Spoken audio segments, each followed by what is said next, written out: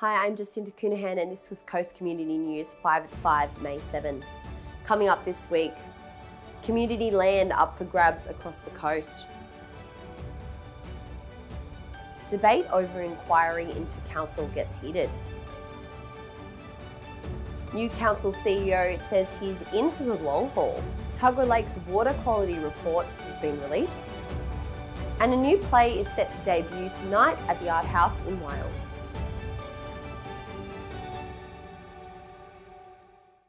Let's start with David, who has more on the council. Yes, JC, the Central Coast Council has released its list of assets which they plan to sell as part of the solution to solving the financial crisis. The list has been grouped into four categories due to the different legislative and disposal processes involved green spaces, car parks, retirement villages, community halls, and a series of land blocks or pocket parks are all up for sale. No community consultation was originally scheduled, but this was quickly changed by the Council Administrator, Dick Persson, agreeing with the request for a community feedback process after community outrage, including a protest in Wyong and on the peninsula. Residents now have until the 21st of May to provide feedback by visiting uh, the Council's yourvoiceourcoast.com website or visit our newspapers for information on all of this. On Thursday, a motion in State Parliament over the inquiry into the Council's financial woes erupted in a fiery debate between local MPs. Clashes occurred over the judicial inquiry, which was supported by 21,000 locals, and the public inquiry announced by the state government. Labor says the terms of reference are set in the public inquiry were outrageous attempts to protect the state government from any scrutiny. Let's have a look at that. Minister, can you provide the Central Coast community with some strong assurances today by committing that the third term of reference is considered broadly to include the issues I raised uh, specifically earlier? The role of executives and senior managers, the regulatory regimes and the oversight responsibilities of OLG and IPART, the audit office processes, ARIC, amalgamation processes including Fit for the Future, development of council structure and the internal restructuring and contracts. For Labor members to claim that a public inquiry is a toothless tiger is utter rubbish, Madam Deputy Speaker. Two weeks ago, the member for the entrance, entrance was incredibly deceitful on, to the Central Coast community when he said publicly, this is a departmental inquiry. Where was the government's represented during all this? He spent more time criticising council than he did supporting it to mislead their constituents because they're making out as if this inquiry is going to be somehow exposing uh, what's going on into the council whilst at the same time putting the people that are responsible for this mess back in their jobs. The government is not satisfied because they don't control Central Coast Council. They want to turn it into an arm of government. Madam Speaker, while the Minister for Local Government, and I respect the Minister, was absolutely blindsided what happened by what happened on the Central Coast, despite regular audits, I must say, by the Auditor General's Office and the likes of PricewaterhouseCoopers, the, she needs the Premier's support. Today in this parliament, the Premier needs to step up and take power to call a judicial inquiry to make sure that those terms of reference are broad enough to dig deep into the 20 years of pain that we have been living through. And a new parliamentary uh, news, of course, the coronavirus and uh, the restrictions of Greater Sydney, which include the Central Coast, are up. We spoke with Parliamentary Secretary for the Central Coast, Adam Crouch, about the current situation. We are seeing obviously our increased restrictions at the moment for the next three days. This is about us keeping our community safe. We do not want to go backwards with regards to COVID 19. We should not become complacent about this virus. It is incredibly easily to, easy to, to communicate and to transfer. And so, you know, the government has made these tough decisions, but they are vital decisions. And I, I applaud the Central Coast community because what we have done over the last 12 months is keep our community safe, uh, literally eliminate community transmission, and we have to make sure we do the right thing. So while these are difficult things to do at the moment, it's a short-term uh, pain, but for long-term gain to help keep our community safe. So I'd encourage everybody to follow those restrictions. If they've got any questions at all, they can also ring Service New South Wales on 13 77 88 to get that advice if they're concerned at all. New Council CEO David Farmer has got a tough test in front of him as he aims to see Council return to a solid financial footing. And now, with almost a month into the job, Farmer says he is determined to achieve in his role, setting out his key goals in an interview with CCN. if I said I had two strategic objectives, the first one is I really want to make this organisation one that the staff can be proud of. A guy came up to me at uh, Erina Depot um, on Wednesday morning and said, what's your vision for the organisation? And I said, you know, I really haven't thought about it enough. I've only been here for a little while. And, but if I was, you're really going to ask me, it's I'd like, he had a, his council uniform on, Central Coast Council on his shirt, and I said, I'd like you to be able to go to the supermarket and walk around there and be proud of the organisation you work for. Plenty of people, you know, they're proud of the job that they do because they, you know, they might mow the parks or, you know, keep the sewer system going. But I want you to be proud of the whole organisation you work for. So that's the first thing.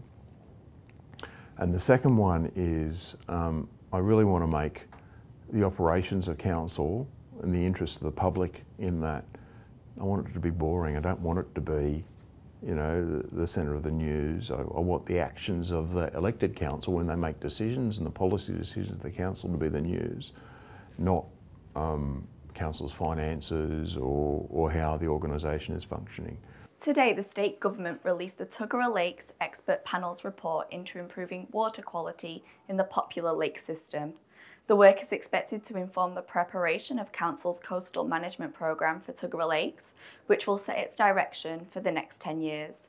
Environment Minister Matt Kean said the government would now go away and consider the 50 final recommendations as identified in the report.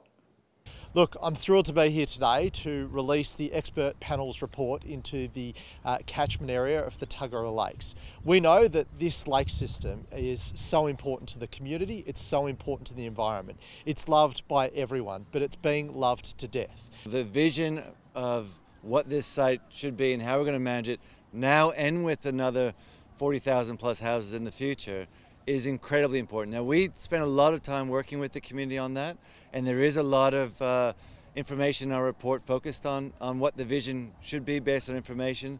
But I also know as part of the coastal management program that council is now running, that's the key first step. The scoping study outlines what the vision should be, and how everyone's going to get behind that. Look, there are three problems that we've identified. Firstly, these are shallow lakes. Secondly, there is a lot of nutrient going into the lake system. And thirdly, uh, we're not being able to flush it often enough. And that's seeing a, a result in poor water quality. So we know that uh, the stormwater, the sewage overflows at times of rain is having a huge impact on the lake system. So one of the recommendations is upgrading infrastructure, including around stormwater runoff into into the lake system. Now over to sport with Hawk. Thanks, Macy. Well, the A League is certainly heating up, with only six points separating second place Central Coast Mariners from ninth place Wellington Phoenix. For the Mariners, this bodes trouble, especially if they cannot get back into winning ways after drawing yet again at AAMI Park with Melbourne victory on Sunday. It was the team's top goalscorer Matt Simon, who first launched the boys in yellow into the lead, with a header too strong for the hands of Matthew Acton. A second half equaliser brought victory back into the game and the score remained level till the end. Although still holding on to second place, there are three teams below them with games in hand, meaning there is a chance the Mariners won't even make the final series. It all depends upon securing wins in their final six league matches, the next one being away against Brisbane Roar on Wednesday. Meanwhile, also on Sunday at Central Coast Stadium, New Zealand took on the North Queensland Cowboys in a very close encounter that went the way of the Warrior, end score 24-20. In the opening quarter, the Warriors got ahead with three unanswered tries and went to the halftime sheds ahead by 24 points to 4. The Cowboys hit back hard in the second half with three tries while denying their hosts scoring any more points all game, but they fell in the end by 4 points. The next home game for the Warriors will be Sunday, May 16 against the Eels, with an away game against the Sea Eagles scheduled for this coming Sunday. Thanks, Hawk. This weekend looks like it will be great in comparison to the dreary, wet weather we've had throughout the week. Starting off in Gosford, it will be a lovely sunny day on Saturday, with tops of 25 and a low of 13 predicted. No rain is forecast, and there will be light winds throughout the day. On Sunday, it will be slightly cooler, with temperatures reaching 22 and a low of 14. It will be a partly cloudy day, and there is a small chance of rain being forecast. Light winds are also expected. Moving now to the entrance, where it will be slightly cooler. Saturday will mostly be sunny, with a high of 22 and a low of 16. No rain and light winds are also forecast for the day. and Sunday will be partly cloudy with a slight chance of rain. The max will be 21 with a low of 17, and light winds are also expected. The week ahead will start with sunny weather and temps of mid 20s on Monday before dipping down to the high teens for the rest of the week. It also looks like we might be getting some more rain. Back to you, JC. Thanks, Harry. All of these stories and thousands more can be found on our website or in this week's Coast Community News, Coast Community Chronicle, and Pelican Post. Subscribe to all of our socials and Spotify for updates during the week. And a new play is debuting at the Art House in Wyong tonight, and it's called Rape and Other Acceptable Practices. The play will be showing at the Art House in Wyong tonight and tomorrow night, and then it'll move on to Sydney and Canberra. We sat down with the writer Daniel Widdowson and lead actor Claudia Schneer to find out more. We hope you enjoyed this week, and we'll see you next week. I feel I feel like sometimes we don't go places and we don't have conversations because we find a way out of it. So it'd be easy for me to say, "Oh, but I'm a man, I can't write about this." But you know, I'm not apologetic for being a guy, um, and I am a writer, so I, I wanted to write about this. Um, but in the writing process, it was like so many conversations that I had with my, my friends, both male and female, who had you know experienced rape or sexual abuse, and getting their opinions and, and, and hearing their stories of um, you know of the attack that that they were unfortunate enough to be present in, um, their experiences of gaslighting. Um, and, and, and so yeah, so I took all those ideas. I'm okay. Well, this is this is what's happened. Let me you know step into that and create this world.